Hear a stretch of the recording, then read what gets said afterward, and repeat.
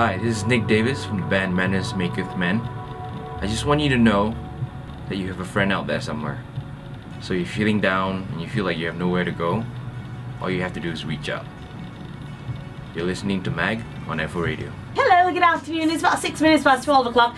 In the studio with me, I have Rozella and Nick Davis of Menace Maker Manners Maketh Man. I like that name. Welcome to the studio, guys. How are you today? Hello. Uh, the band that I just started, Manners Maketh Man, is uh, about like three months new. hmm Three months. Yeah. Really? Wow. But I like your name. How did you come up with it?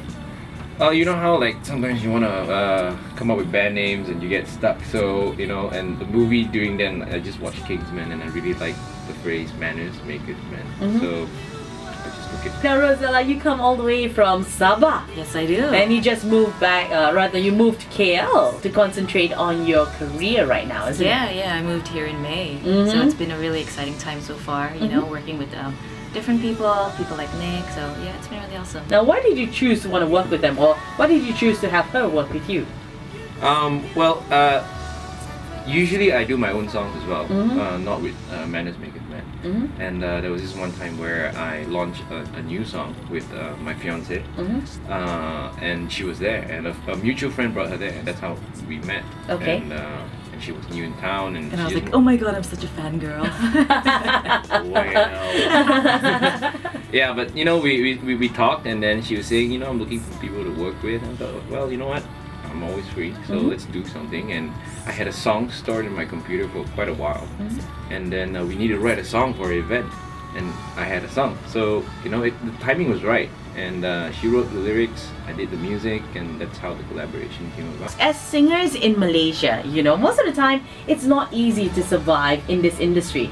What was that point, or when was that point where you realized everything will be okay? It's okay. I'm doing what I love. I'm doing it for passion, and it will all be okay.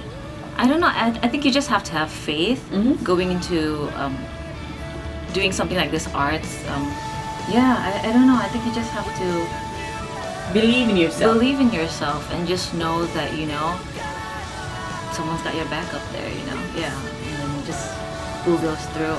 Okay, I like that. Bulldoze through. What Yeah. about yourself, Nick?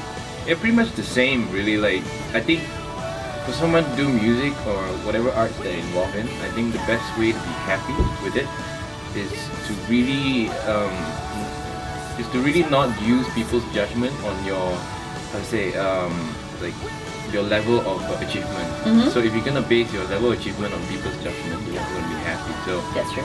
when once you find that contentment with your work, that's when you're most happy, I guess. One, two, three. We need a new world. Give us a new world. Time for us to make Time for us to make it right. Yeah. Wow.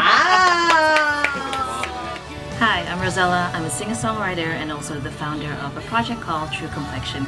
I believe that no matter who you are, where you come from, you gotta learn how to love yourself and be comfortable in your skin. And you're listening to Mag on AFO Radio.